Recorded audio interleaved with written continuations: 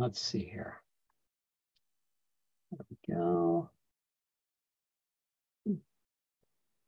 Okay, well, good afternoon or good evening, depending upon where you are in the world. Uh, this is Patrick Milliken from the Poisoned Pen Bookstore in Scottsdale, Arizona. And we're really excited to have with Richard Armitage with us this afternoon to discuss his new book, Geneva. And uh, just, you all know who he is, but I'll give a nice little uh, blurb here. Richard Armitage is a multi-award winning stage, screen, and voice actor, best known for his roles in Peter Jackson's trilogy of The Hobbit, uh, Captain America, The First Avenger, Alice Through the Looking Glass, Ocean's Eight, and most recently, The Stranger and Obsession on Netflix. And uh, Geneva is his first novel, and Richard lives in London and New York City. So uh, here's the book, Barbara, and I'll turn it over to you. Thank you very much. Patrick's holding up our only copy. We blew through all our signed books, but negotiating just now with Richard, there's a faint shot that we can get more signed books while he's back in New York from London. So if you're interested in one, hasten to our website and stick in your order and we'll see what we can do. Thank you, Richard, for agreeing to do that. That's very of good. course. I'm so are you excited? It's selling well. I'm glad. No, it's delighted just doing. So are you excited at being an author after all your fame as a presence in stage and screen? Yeah, I mean, it was a bit of a surprise. Um, the the story of the story began as an audiobook. So um, it was it was a commission from Audible, who are who are very good friends of mine, and I've read a, a lot of um, other authors and and crime thrillers for them. So this was an offer I just couldn't refuse, and uh, in a way, it was a bit of a red rag to a bull because I just didn't know if I could do it. So I I, I said yes, and then figured out how. Well, I understand from material in the book. Always read the acknowledgments, but wait till the end that our old friend Harlan Coben gave you um, a push in this direction. And, you know, Car- Harlan has gone from paperback originals to hardcover sensation to big television, you know, screen presence.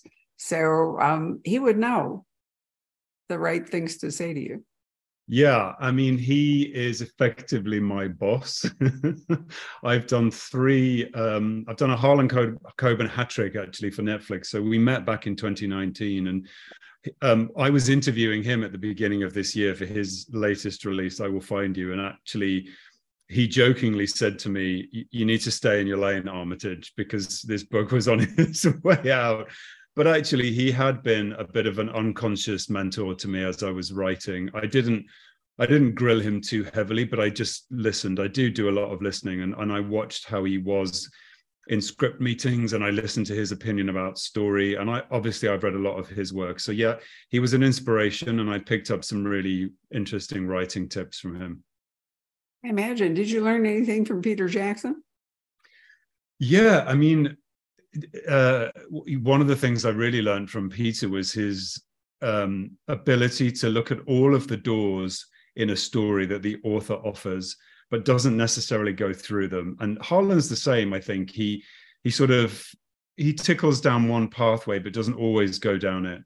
Uh, whereas Peter obviously expanded a quite a, a small book into three movies, but he's just a they're just both great storytellers and that's really how i come to this. It doesn't it's not really changing lanes it's all in the same wide lane of storytelling. Well there are there are certainly authors who write screenplays and increasingly there are a lot of screen screenwriters who are writing novels. Um, one of the advantages to writing a novel as opposed to a script is that you can do it all by yourself. Um, so there are you know screenwriters who talk about what a pleasure it is to be able to just, you know, like be the boss of their work and get feedback and all that good stuff. But it's a big deal. You know, a 100 page screenplay and a 300 and some page novel, there's a lot of material there to, you know, not everybody can do that well.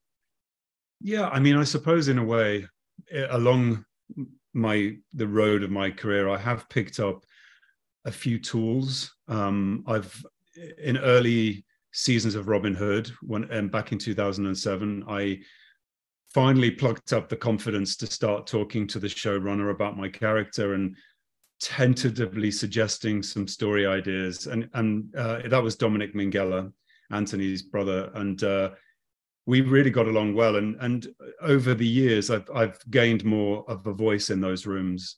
Um, but I've seen I've seen successes and I've seen errors in storytelling. I, I think in season eight of Spooks, which is MI5 in America, we started a 10 episode series with one page, um, one yeah one scene, and I I remember thinking planning is everything and getting all of your scripts together is everything. So one of the things I really did apply before I started writing this was setting out a really watertight outline before I even began to attempt to write the story.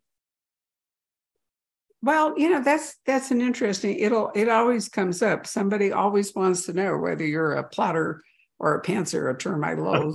you get the idea. I that's a new term I have learned. it's the alliteration, I think, is the reason they do it. But basically it means do you write by the seat of your pants, i.e., without an outline, or are you a person who um, who outlines carefully. And, and, and they're really two schools quite different. Occasionally, people make a transition from plotting to pantser, and more rarely, they make a transition from winging it to plotting it.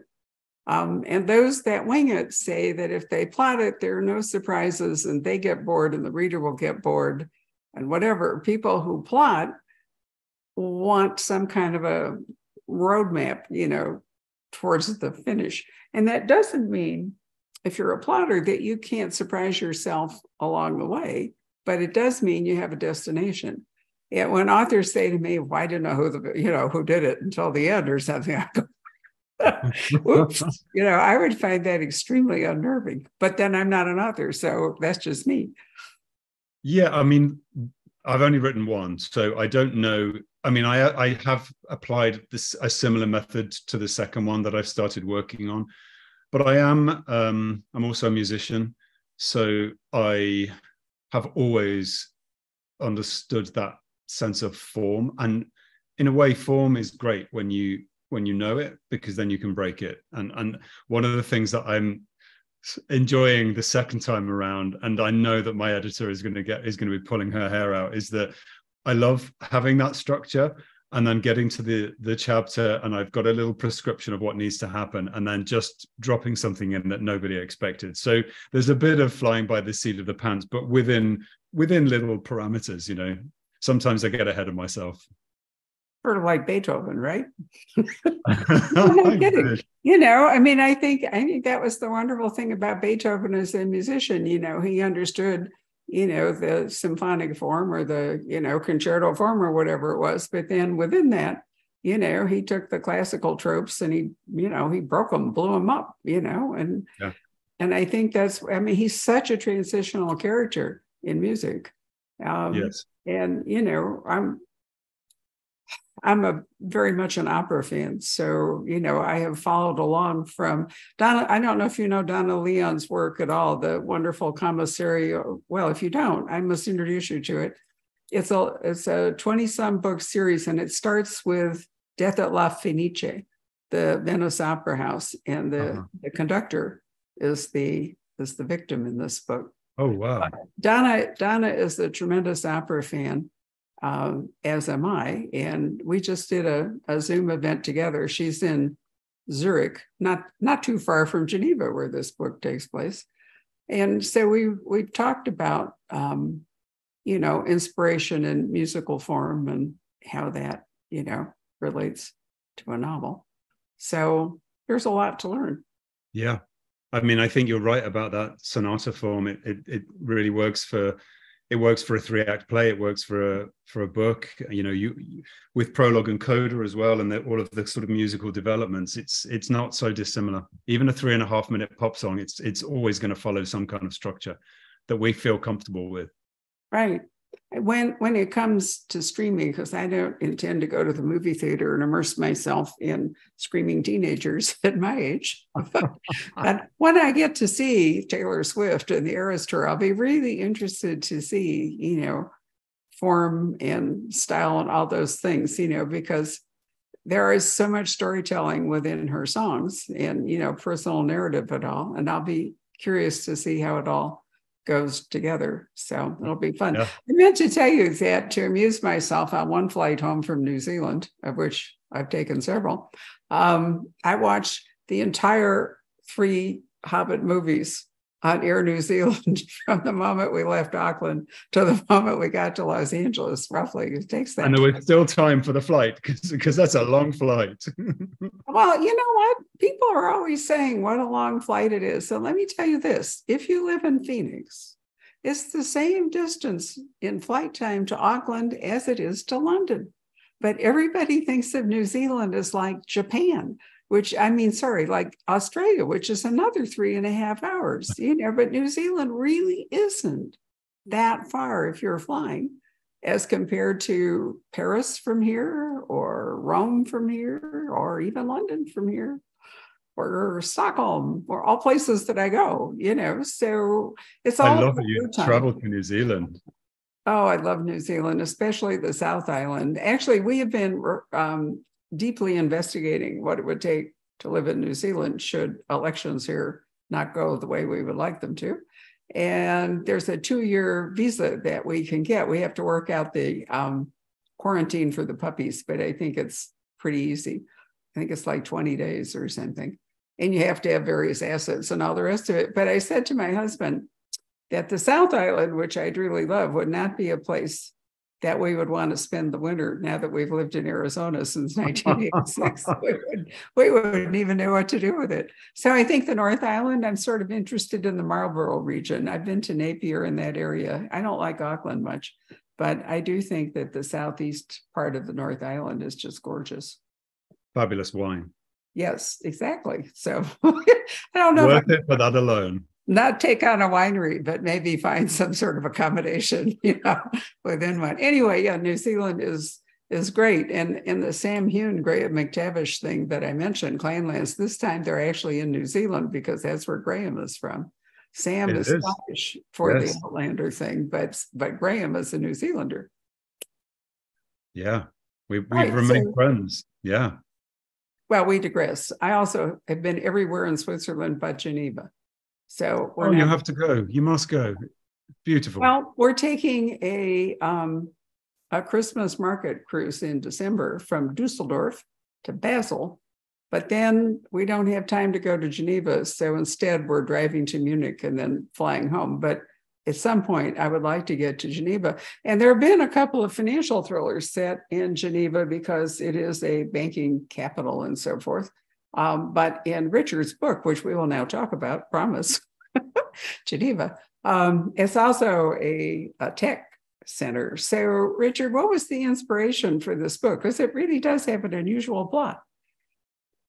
Yeah, I mean, I was plotting the story when we were coming to the end of the the, the pandemic, and I'd been watching a huge amount of people on television sort of bumbling their way through misinformation. And there was a, a scientist in the UK called Sarah Gilbert who was fronting the AstraZeneca vaccine program from Oxford, and her and a team of virologists actually came up with the vaccine about a year before it was released. But I was watching her talking a lot, um, and she won the Rosalind Franklin Prize, and I just thought she'd be a brilliant basis for a character, somebody of such assured excellence and intellect to sort of put her at the center of something where she stops trusting her own mind and is at the center of a crime involving science and biotech. And that that was really the seed of the idea.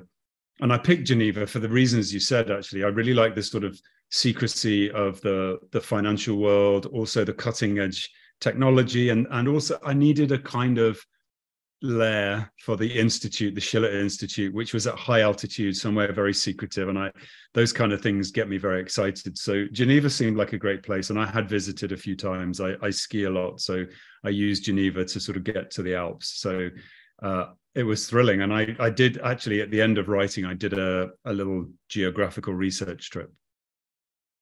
Did you Oh, yeah. Nice. Well, Geneva's an, you know, an international airport, so as compared to say Basel. so that makes a certain amount of sense. Let's go back to Rosalind Franklin because she's such an interesting character. Um, I'm not sure everybody watching it would know her story, but I think it's a I think it's a remarkable story, also kind of a sad one. Um, you want to tell it? Of Rosalind Franklin.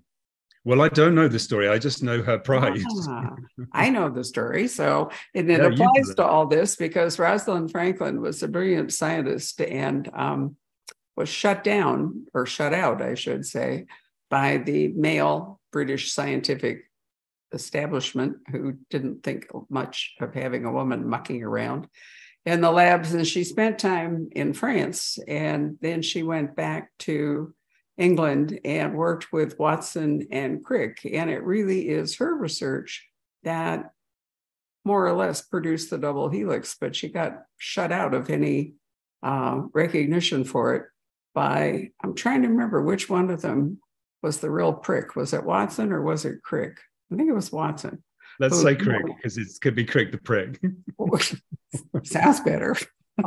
it rhymes. Um, I, but Watson wrote the book. Watson wrote the double helix, so I tend to think it might have been him. Anyway, regardless, Rosalind Franklin does, d- did not get the recognition that was hers for the discovery of the double helix, which of course has led to astounding things in, in medicine and all. And I'm happy to hear that there actually is a Rosalind Franklin Prize because yes. I think now over you know lapse of decades and so forth that she I'm trying to remember I think it's Jillian Cantor who wrote a great book about but it may have been Marie Benedict one of the other of them wrote a book um, about Rosalind Frank a novel but um, a biographical novel is that an oxymoron do you think a biographical novel no not at all I think it's a yeah it's a it's the sort of novel about the the the person right? Novelizing life. Yeah, yeah, right. I mean, like actually, I think that fiction very often can get to the truth of a life more than um, a memoir or a formal biography. Authors being gifted with astonishing insights into character and all that yeah. kind stuff. But anyway, um, I think she's a figure people should should read about. And if your novel inspires them to do that by saying she was sort of a Rosalind Franklin character, that would be a good thing, Richard. Well, I was, you know, what I was really interested in is um, as I was watching Sarah Gilbert receive her prize and giving a giving a talk that she she had an ease about her and and she really didn't feel like somebody that wanted the limelight, even though she had this uh, track record of biological excellence. And and actually, in my fictional version of of Sarah, I'd I'd awarded her the Nobel Prize, but she didn't turn up to receive it because again she was stepping back from the limelight and actually her achievements very much overshadow her husband who is desperate for acclaim and and living in her shadow and i just thought that was an interesting tension inside a marriage because uh, one of the reasons why he persuades her to go to geneva is because her presence there is going to elevate his career which i thought would be an interesting dynamic it is an interesting dynamic. Do you know there have been quite a few studies that show that women who are more successful financially or professionally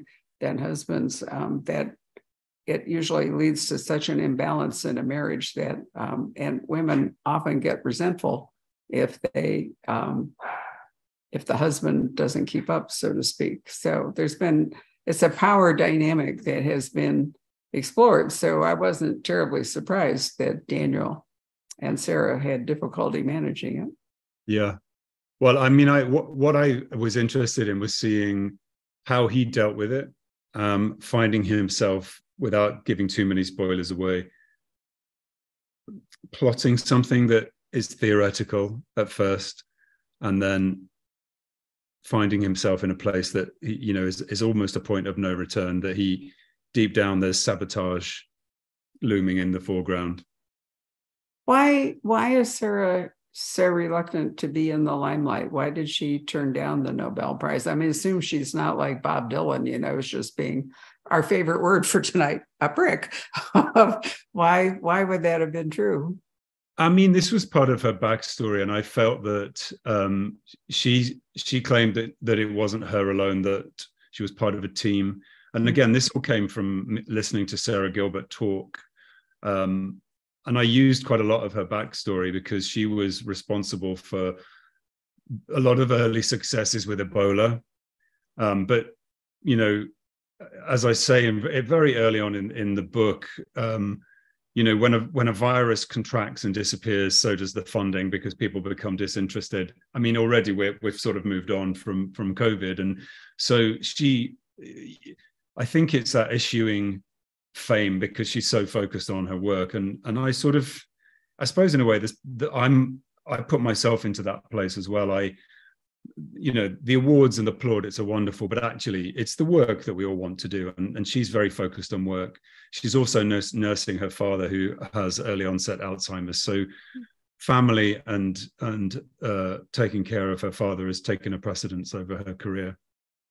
You know, I am still in awe of the rapidity with with which a vaccine was developed for COVID. I was barely in high school. Maybe I was in high school actually when Jonas Salk produced the first polio vaccine because polio was the scourge of my childhood in the 1940s. It was a, you know, a constant, mm-hmm. constant worry, and there was no really coming back from it, at least not easily. In the same way that you know, cancer was a death threat up until fairly recently, and now there are treatments so people can live with cancer, but that that certainly wasn't the case. And so having, you know, witnessed how long it took for Salk to develop the vaccine. But then the other thing that I find so amazing is people fell on the Salk vaccine with glad cries. And, you know, we were all lined up in school to get it and the whole bit. I just never have understood the anti-vax thing that went on with COVID. You know, you would have thought that everybody would have been delighted to have a chance to beat the disease. But yeah, I mean, I came away with some real gems from list from from following Sarah Gilbert. I mean, one of the things that um, really struck me is she said uh, in what I think it was um, in an interview about the pandemic. She said um, the minute the the COVID uh, virus had been genetically uh, what's the word when you when you find the genetic code for the vaccine? She said we knew we had the the we had the vaccine a year ahead of its release. They knew in the first weekend once they'd identified the virus that they could do the they could have a vaccine. But it took so that reassurance from her was making me think they've got it. It's just going to take uh, this much time to put it out there. The other thing that was really interesting that she talked about was all of the vaccinations that happen without us knowing it, the way that they vaccinate horses, for example, and other animals that we come in contact with to protect us. So it made me realize that vaccines are not necessarily about yourself, they're about protecting others. And also that very simple thing of, and again, this came from Sarah Gilbert ha- having a question and answer session, is that a vaccine stays in your body for the for 12 hours and no longer and it, and all everything that's put into your body has left your body by by the next morning and it's just taught your body to to recognize it. So all of these things were which were coming out of her mouth. I was, uh, yeah, I, I, I got a lot of reassurance from her. You know, you were so right. no, but you were so right about you know the the protecting the community. It is an entirely selfish thing to forego it and then you know risk exposing. There's been a lot of controversy here about people refusing the measles vaccine, for example, for children and other things. So you know, it is it's about it is about community and about you know not endangering everybody. The other problem, of course, with the new vaccine um, was really demonstrated brilliantly with um, the discovery of penicillin during the war is that you have to ramp up production and that takes a long time. You know even if you have the vaccine it doesn't do any good if you just have a small quantity of it. You have to you have to be able to you know produce it well enough or fast enough and large enough to you know to actually immunize the community yeah. Yeah but i mean she was the one person that i was listening to during that time so i think simply because of her past experience and her her extensive knowledge so yeah she doesn't know i've written this book but, well she will um, somebody's inspiration I, I, I'm, I was I, in the future i will you know try I, actually at the time i was i was looking into getting the life rights to her to her story because I think um, either a documentary or or a drama about her because I think she's she's been responsible for some quite remarkable achievements and so but anyway I, I put her in a crime story. well, why not? That's a memorial of a sort. I love it. So we have Sarah, the Nobel Prize winning but ceremony shunning heroine here, um, married to Daniel, who um, they met in graduate school, and I gather they were both very good, but Sarah was always better, more top notch. Um, and so Daniel, Daniel wants her to come to Switzerland, to Geneva, for a conference, which will bolster his career how come Sarah agrees to go? Well, I think he manages to persuade her because um, the actual the technology that they're um, investing in is a is a neural implant which is being touted as a as a therapy for various kinds of dementia. It's it's controversial, it's theoretical, but he does manage to convince her that this might be a breakthrough that that could be something that might help her father.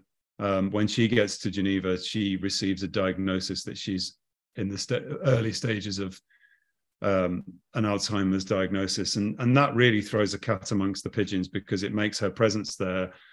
Uh, it seems that she might have an agenda, and, and a journalist picks up on that. But it's really, I think, that balance of this could be for the the greater good rather than a sort of financial incentive. So she goes out of curiosity and because her conscience is saying this could change people's lives if i and if she puts her name behind it if she believes in it then it will get press attention and will probably move forward. So that is in fact the end goal of Daniel getting her there. In theory, is to have her name put on this so that um, it will make it. It's sort of like getting a movie star's endorsement for something, right? Exactly. Yeah. Yeah. I think how terribly cruel for somebody like Sarah to be facing uh, a form of dementia, Alzheimer's, or whatever it might be, there's a, apparently a genetic component to Alzheimer's, so not unrealistic for her to, you know, to be showing signs of it. But so she really has an awful lot going on, doesn't she? You know, she has her career, she has her father, she has her own diagnosis, she has this strains in her marriage, there's a child involved, and then there's this journalist who keeps floating around the edges. And the journalist clearly has an agenda because you quote the journalist, don't you? Yes, Yes, the, the journalist was um, was inspired by those kind of controversial bloggers or people that have television shows and they really revel in a kind of political disinformation. But in in the case of Terry Landau, she she is uh, out to to sort of expose the hypocrisy of the pharmaceutical industry and uh, but she's always been a bit of a fan of of Sarah, so she she sort of hones in on this event in Geneva, knowing that she's going to be there. So her her target is to get a one to one interview with her to pick her brains and and find out what's really going on with this neural implant. So she's not really a mainstream journalist. She's a blogger, if I remember, or she is, is she a podcaster? Which is it? She well in the book she's uh she's a, a, a, blogger, but if we if we go f- further into a television series, we're, we're going to see her face. She's going to be a sort of Alex Jones figure. Ah, okay. Yeah. Right. So there are all these people with different agendas, and here we are in Geneva. So you must have had fun creating the Schiller Institute. I mean, you know, you have to build it from the ground up. How did you decide to design it?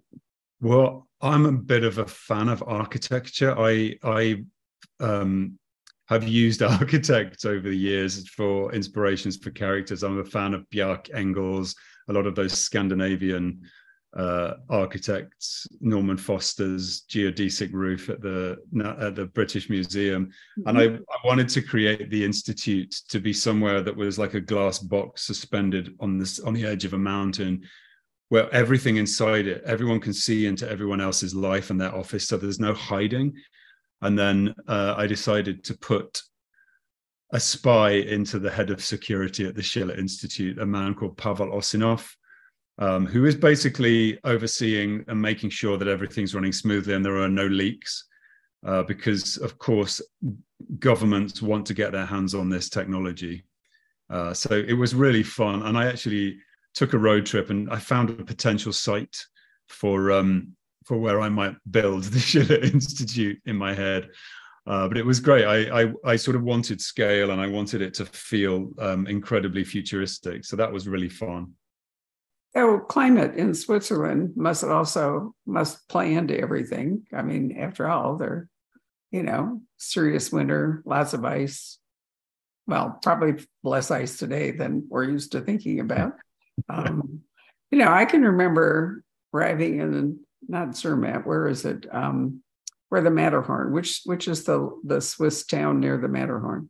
It's Zermatt. Is it Yeah. Vermont? Okay, Yeah. we took the train from Montreux. It's a gorgeous train Right. to Yeah. Zermatt. We were getting ready to take the Glacier Express um, over to St. Moritz. Anyway, when we arrive in Zermatt, you know, they say to us that you hardly ever get to see the Matterhorn because the weather, you know, clouds on and on and on. And um, and sure enough, it was totally invisible. But as we had to get up at some ridiculously early hour in order to catch the Glacier Express, just for like 15 minutes in the early morning before there was the Matterhorn. It was magical. But I thought, how odd to live in a place where something as imposing as the Matterhorn could largely be invisible due to, you know, the weather. Yeah, and I like it because it sort of looks like a slightly crooked finger. It's a little bit like a hook, Yep.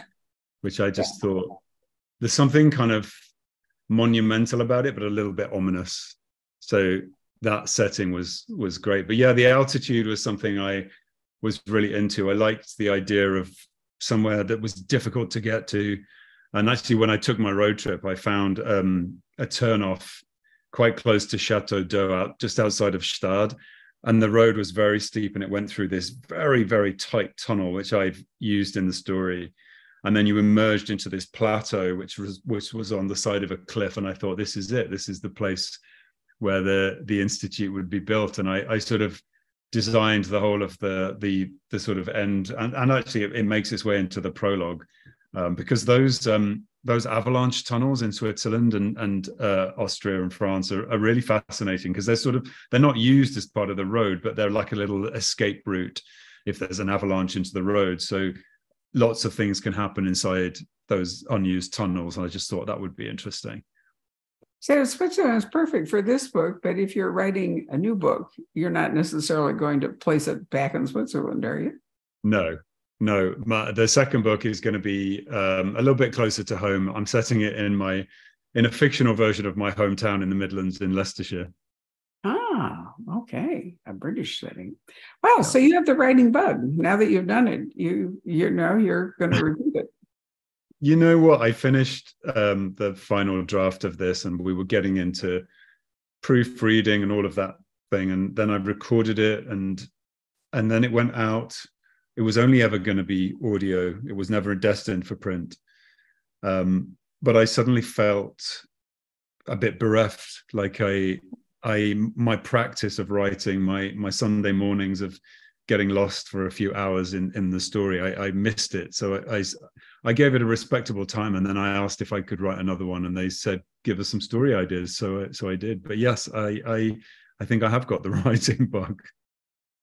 That's interesting. An audio audio book original that can become a story. There's another author I'm not at liberty to mention who has conceived doing that in partnership with another author because neither their agents would actually let them do it together as a book because it could hurt their brand, but they can do an audio together. And then if it works, then they can turn it into a book. So it's kind of an interesting path to Yes. um, to publication, I think, is to start with an audio original, see where it goes. Do you find also that having been audio and you're having um, you know, to Reddit and so forth, did it change the rhythm of your sentences and the pacing when you turned it into a book? You know what? When I was writing it, I read everything aloud, every um, scene setting, all of the dialogue over and over and over, because I, I thought this is never going to be seen. It's only ever going to be heard. And I know that uh, from, you know, picking up scripts, um, sometimes an, an unconscious rhyme will happen in a line of dialogue, which distorts the meaning. And you think, what did they say? I missed that because there was a, a little rhyme happened or and I'm and I'm sort of obsessed with the rhythm of speech and the way people cut each other off in the middle of a sentence, or they don't really say what they're they're thinking. There's a subtext. Um, I'm a bit of an obsessive with Harold Pinter and David Mamet, that kind of dialogue firing. So I channeled all of that into into the writing, not thinking it was ever going to be printed.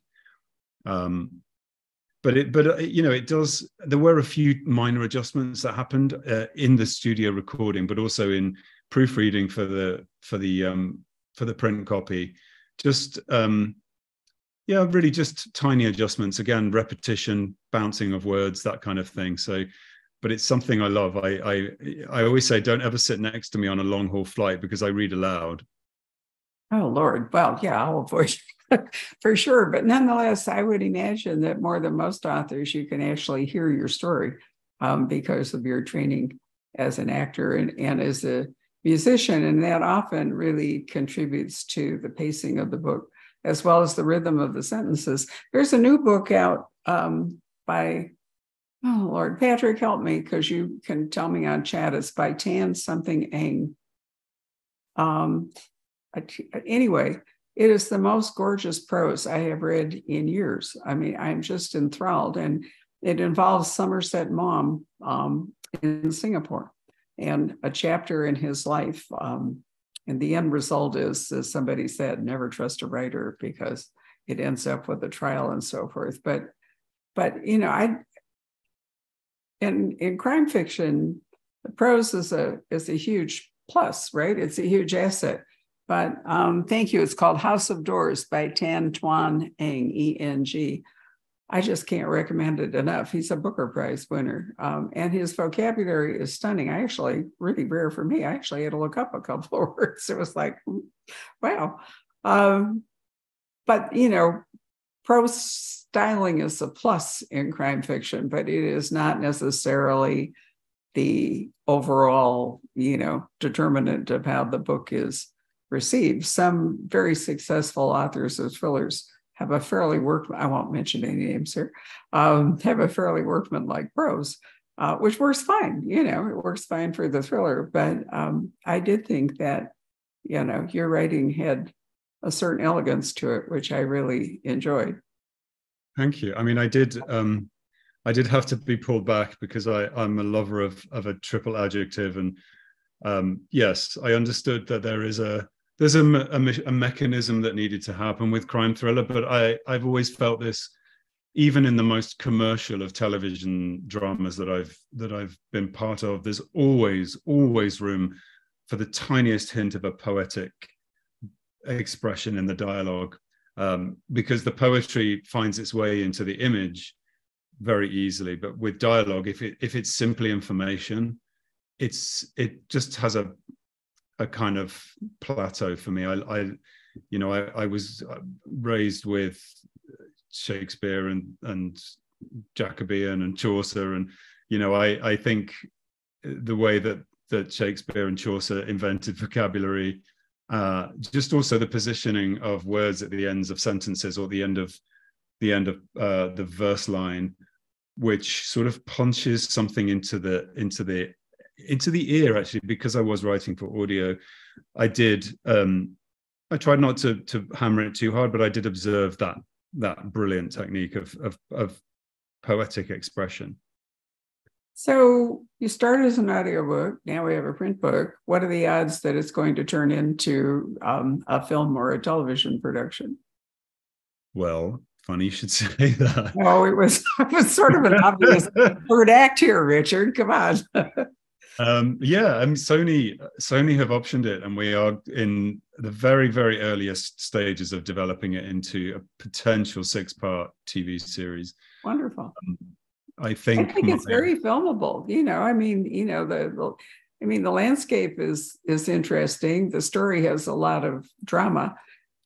As an actor, um, you know, the expression. I mean, actors contribute not just the words, but their facial expressions and their movements and everything to to the dialogue and all. So um, I'm trying to work out how you might feel watching somebody take your sentences, a different actor, or maybe you're going to star in it yourself.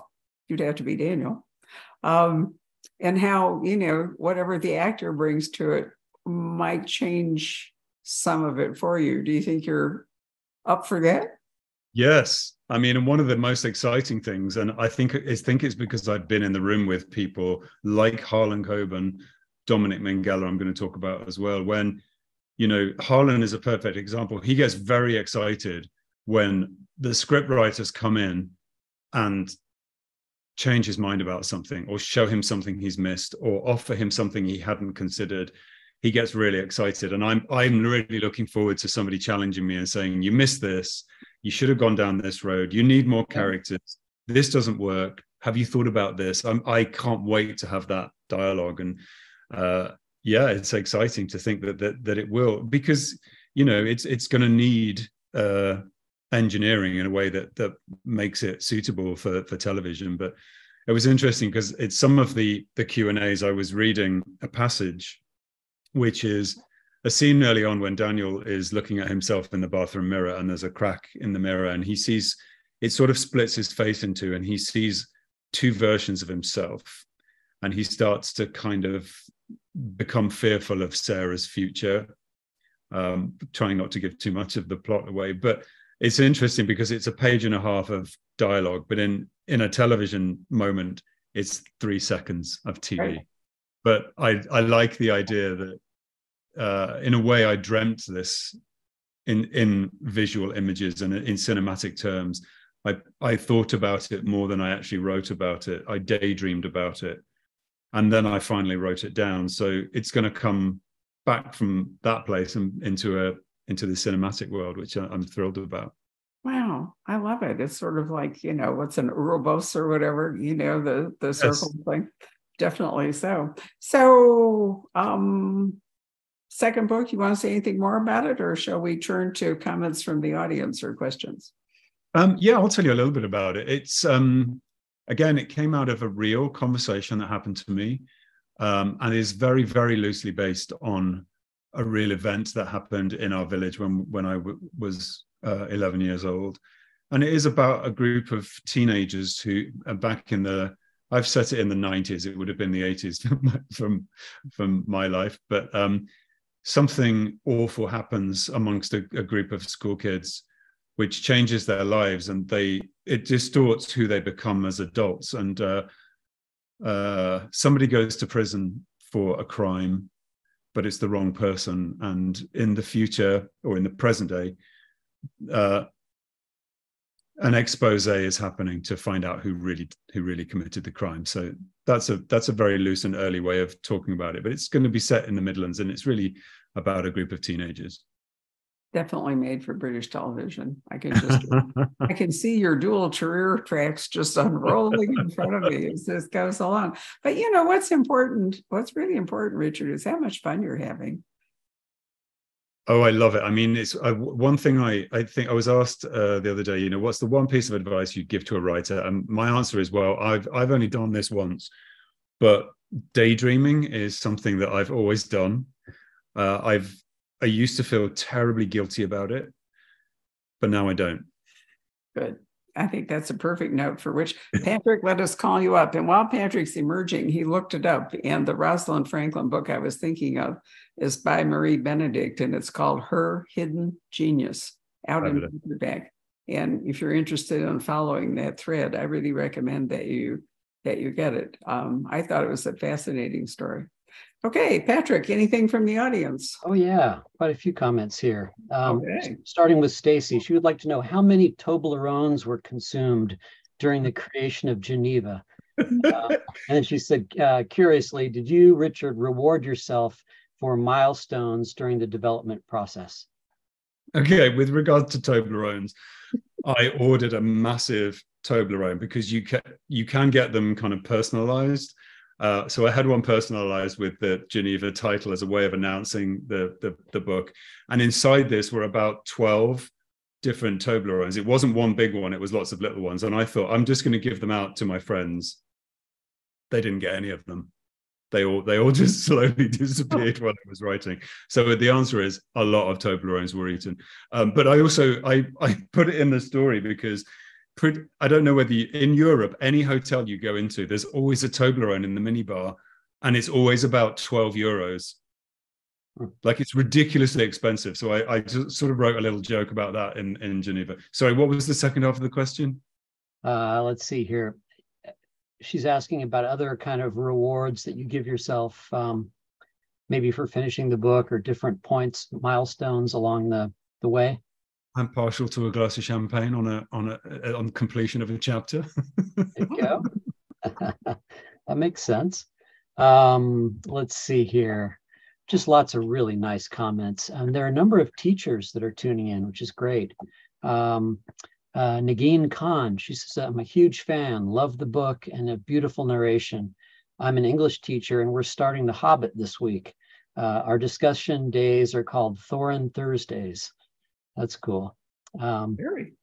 yeah, says, could, could you give a shout out to the to the NUI seventh and ninth grade? Why not?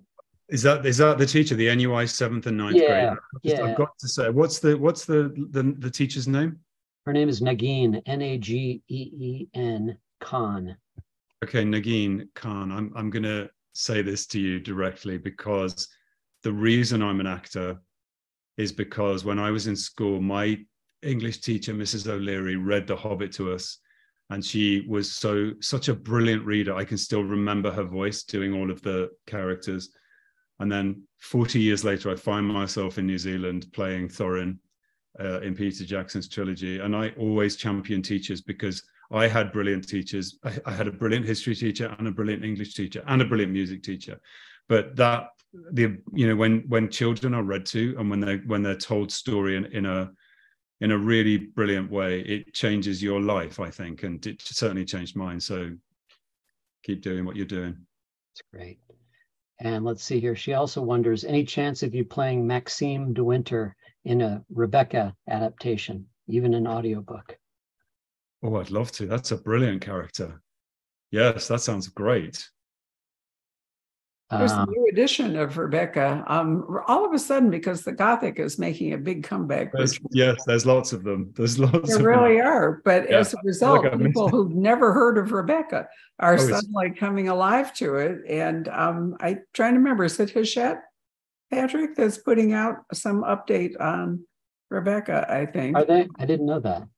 Yeah. Um, mm. Somebody is John John Charles of our staff is alert to these kinds of things, and I think he's ordered them. But, you know, for, I have to admit, over the course of 34 years here of bookselling in my fourth career, um, I've been astonished at how many people have never heard of Rebecca.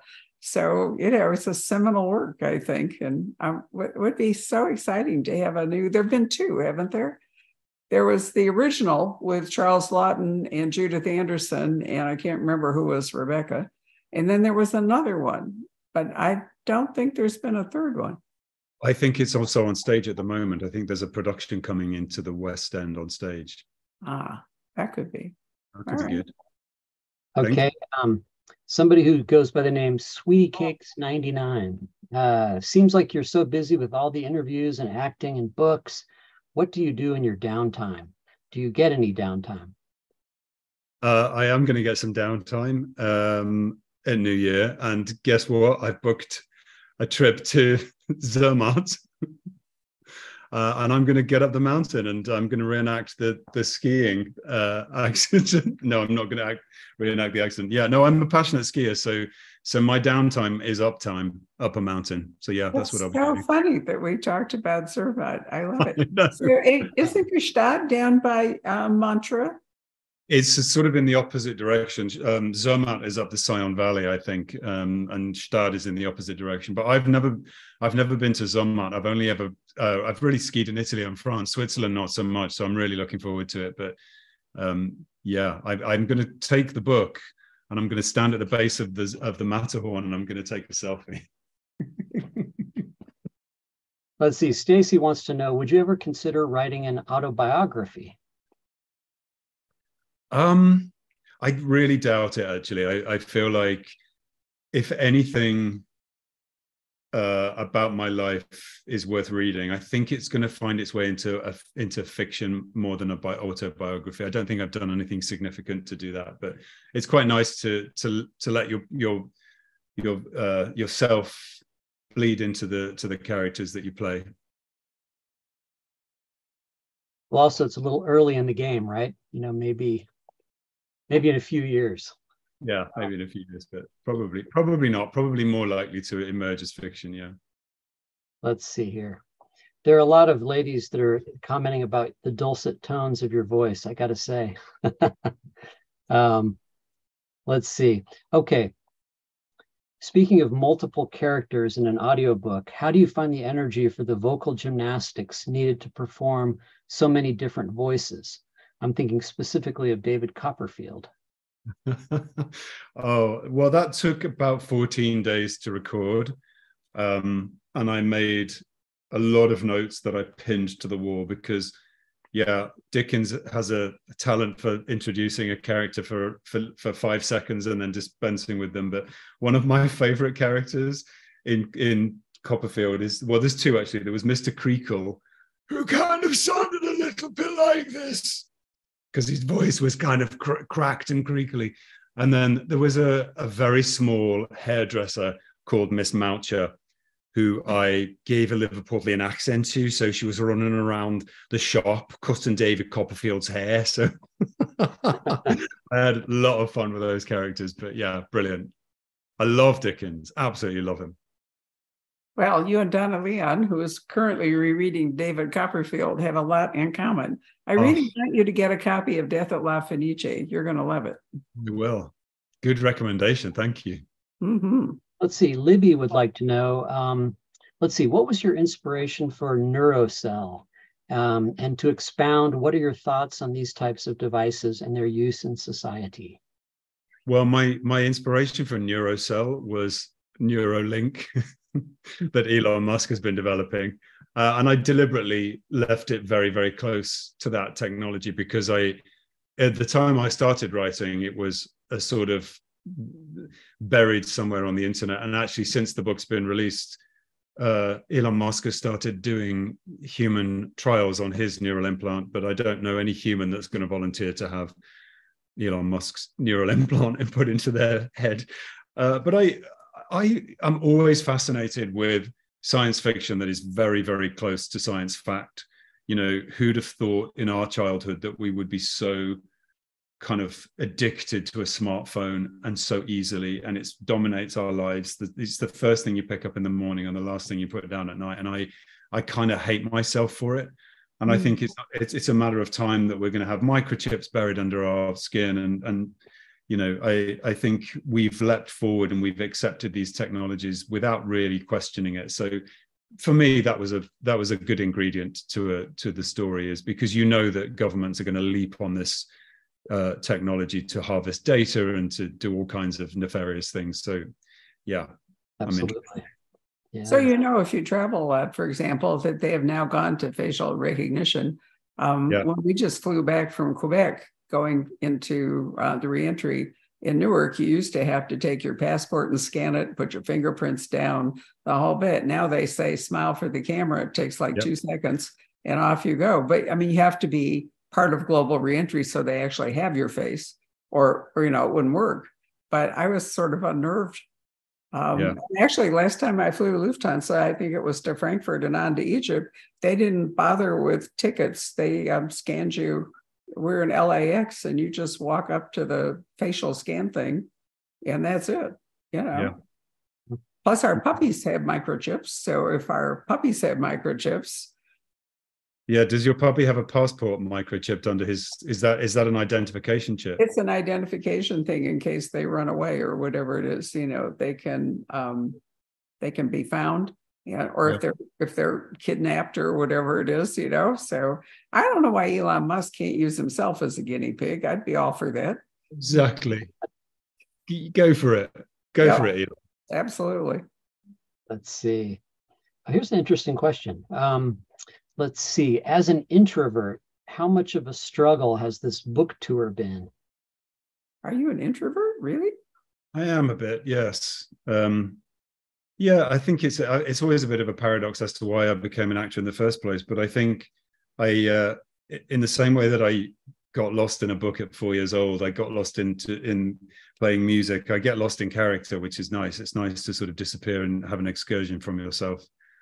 The book tour has been um, really enjoyable, actually, and I think because I really did write the book and I I know every every word on the page. I know every corner of the book. It was quite easy to talk about, but also getting to talk to book lovers and authors um, was a real pleasure because I get to pick their brains as well and find out what they love about story. And all of this kind of conversation is really useful for me when I go back to my day job, which is uh, acting. I can I can just take some of those those little nuggets that I've that I've got from from listening to to some of the other authors. It's been amazing. I've I've loved every second of it. And then do you have to kind of go back to your hotel and just kind of like hang out by yourself and recharge and then come back out into the world? Yes. Yes, a little bit. I mean, I uh at the moment I'm I'm obviously writing the next one, but I'm also developing two other shows for television based on other authors. And one of those authors uh, interviewed me at the end of the the UK book tour, CJ Tudor. So we had so much catching up to do because I've optioned her book, and she's like, "Where is it? Where's this show?" So um, yeah, I, I'm I'm kind of busy and but busy with lots of story, which is you know it's like soul food to me. Let's see what else do we have here. Um, okay, here's a history teacher, and she would like to know what is your favorite historical time period, or do you have one? Oh, I really do. Gosh, it's it's sort of. I can I have two? sure. so I've always been because of my father. Um, I was named Richard because I was born on the day that Richard III died. So, so the Wars of the Roses and the Plantagenets has always been really fascinating to me. But also, I would quite like to have been born or existed as a very rich person in the 1920s in London. I think that's a fascinating mm. period. Um, and I love that world that Agatha Christie writes about. But of course, it's you you need to be in the in in the upstairs rather than the downstairs. But yeah, this gosh, I love history. absolutely love it. Let's see. Have you ever watched the Dorothy Sayers um, television adaptations? The original ones. Um, Edward Petherbridge did did the the the Harriet Harriet Vane trilogy. They're actually four, but they only did three. But I'm trying to remember Ian Carmichael, who I thought was an amazing actor, was Peter Wimsey in the original ones. But 1920s London, I mean, he's, you know, the son of a duke, it's all this money. Have you ever read those? No, I haven't. They sound amazing. Oh, Richard. I'm, My info treats.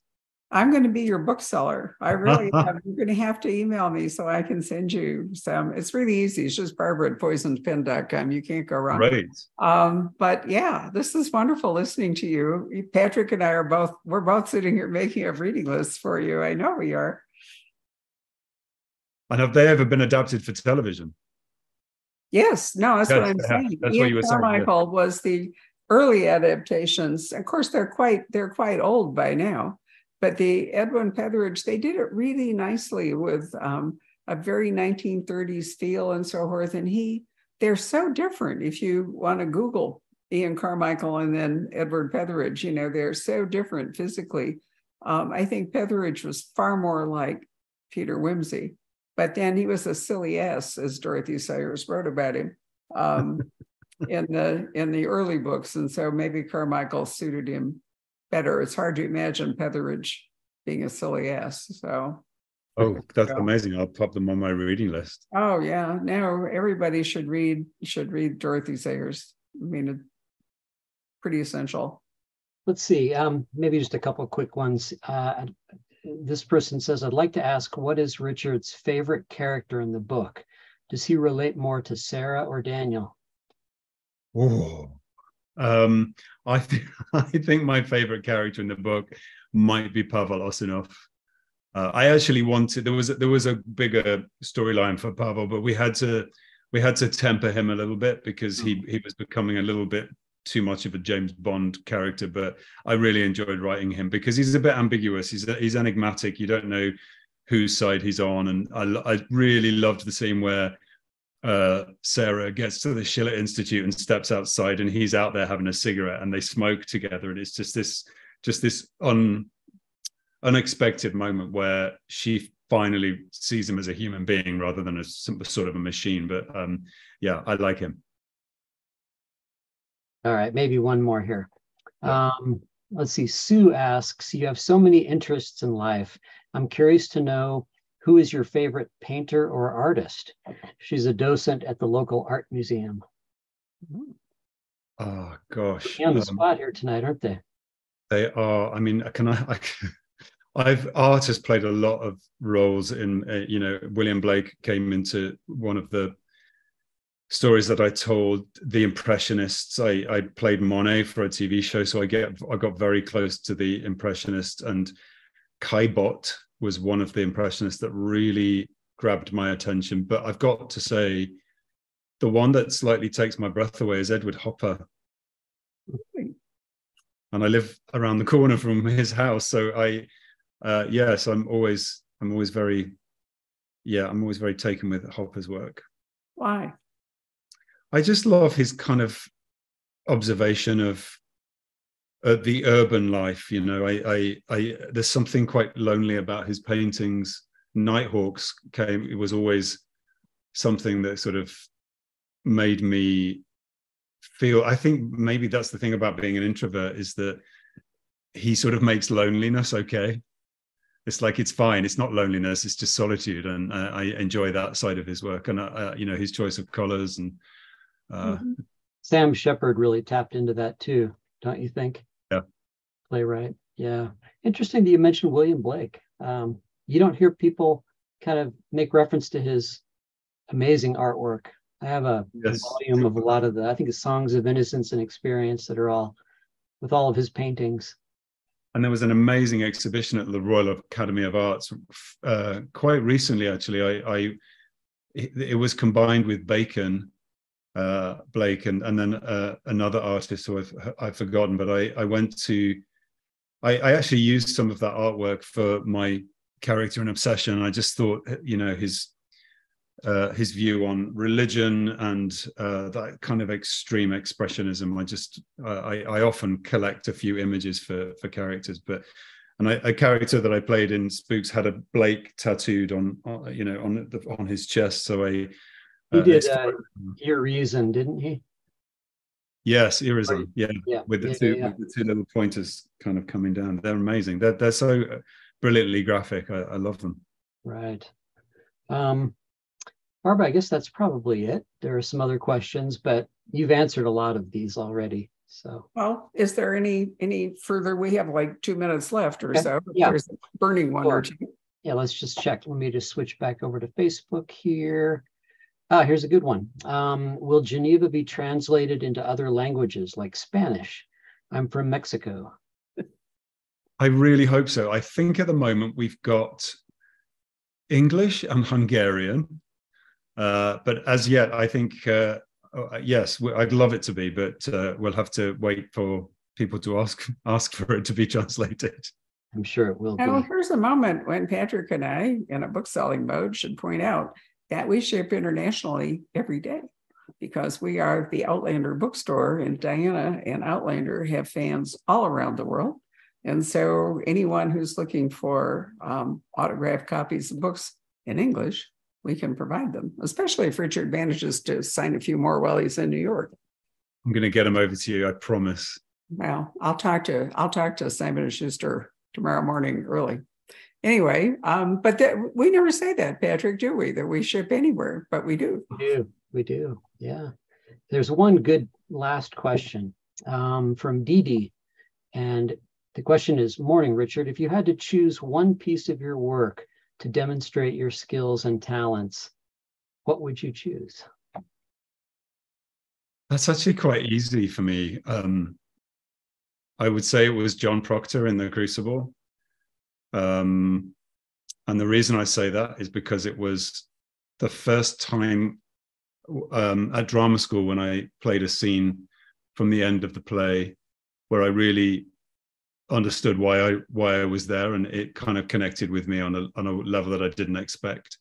And then when I got to play the whole of the character, it was it was sort of life changing because again, it was one of those projects that I I said yes to and didn't know if I could do it. I didn't know if I was capable of that ascent. Um, and it was a 12 week run and the audience was was extraordinary but uh, yeah i would say that had the biggest impact on me well, thank you very much, Richard, for your candor and your charm, and also for your wonderful book, Geneva, which Patrick, you can hold up again, right? Um, it's been a fascinating conversation. So thank you very much uh, let me wish everyone who's watching it a good evening. Also, there'll be a podcast available um, in another day or two. So um, you could listen to it or recommend people listen to it that uh, didn't have a chance to watch it. I'm not sure also that people watching this recognize that it's also, you know, those on YouTube will know it. You can actually watch all of our um, our broadcasts on your smart television if you go to the YouTube channel rather than the Facebook channel. So there we are. Right. All right, Richard. Thank you so much. Good night.